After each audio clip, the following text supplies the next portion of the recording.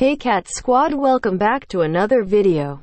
Today, my throat hurts and I can't talk so I'm using Google Translate to do my video for me.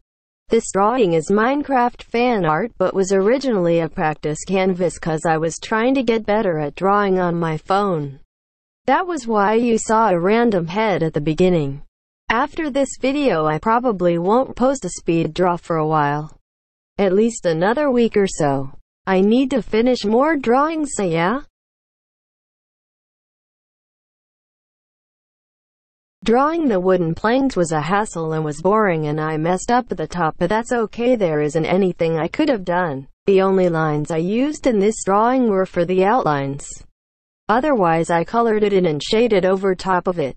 I'm running out of fancy things to say and because this is Google Translate I can't ramble on like I usually do. I'll come back in once I start drawing good old Stevie. I have something to say there.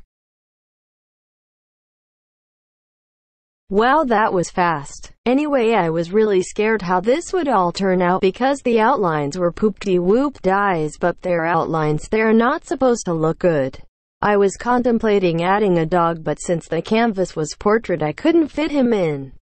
Also I didn't know how I would go about drawing a Minecraft dog without the squares. If you watched my last speed draw you'll know there was a thing about fingers. Well, in this drawing I didn't add the fingers either so huh. Also the way I shade the shirt looks so magical. You can't really see it in the main shirt part but if you look at the sleeves you'll see what I was talking about. Also yes I did draw him on the bed with shoes on.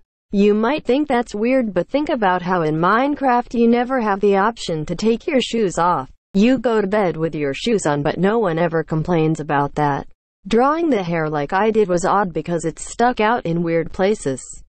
I tried fixing it but I eventually gave up and let it stay like how it is because AAA what was I gonna do about it? I really freaking love how this drawing came out. I've only done this style once before and it was stellar, but I never expected to do it again. It was almost like some weird motivation as I started this piece. Something telling me that I should do it in that style.